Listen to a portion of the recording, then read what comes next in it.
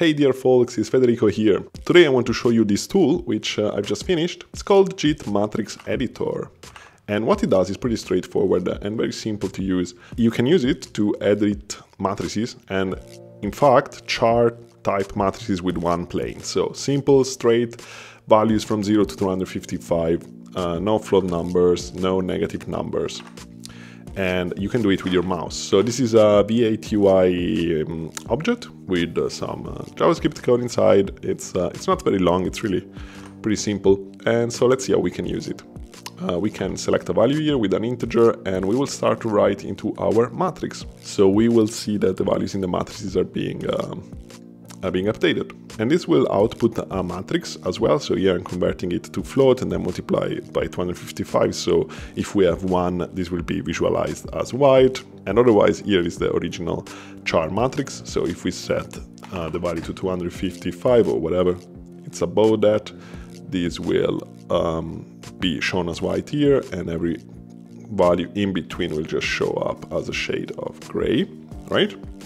Uh, we can clear it, we can set all the values to whatever we want. With a bang, uh, we can uh, send out the matrix and then we can uh, resize that. So we can have, for example, 10 uh, horizontal cells by 20 vertical cells, and then we can work with that. If we press shift and we click on drag, this will over this will replace the the cell value with a zero, right?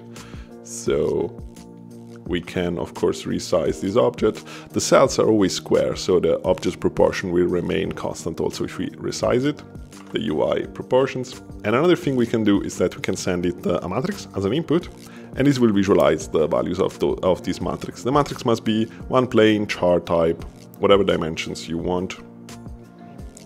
So something like that will work as well. And if the um, object already has dimensions, when we send a matrix in, the dimensions will be overridden and will adapt to the, to the new dimension, like, just like a JIT matrix object will do.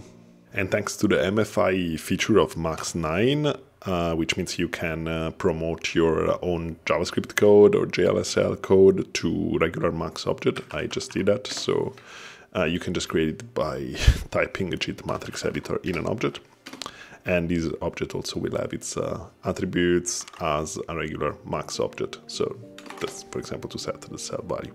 So that's pretty much it. Um, let's see for what we can use this object. I prepared here a patch. These, uh, they use some uh, V8 JavaScript to visualize um, tiles based on an input matrix. So all the values in the matrix are, are used as an index to choose one of those tiles. So once I drop the folder with all the tiles, which I downloaded from Kenney, by the way, I will put the link in the description, then I can just send a matrix, and if this matrix is full of zeros, the tile number zero will be chosen. Then I can modify this matrix. For example, if I want the tile number one, I can select number one here and just throw a bunch of ones. This matrix uh, is being sent here to this um, matrix called map mat, which is also in this patcher. So when I click here, uh, you will see that it will select. When where there is a 1 it will use the sprite number 1 let's set a bunch of 2's here so it will visualize the sprite number 2 in here and uh, yeah starting to get something. Let's use a bit of water. So for example I can use uh, number 18 here then number 19 there then number 20 in on the right and I'm choosing these three sprites basically. Then number 21 down here. Not sure what's coming up, but yeah, I, I messed it up, but uh, you got the idea. Oh, you know why? Because it's reversed. Um, the matrix gets reversed in OpenGL because I'm using OpenGL to visualize those uh, images and uh, so that the world coordinates are uh, reversed in OpenGL. But it doesn't matter, you can simply, you can easily solve these in the code. But this should give you an idea of how this works.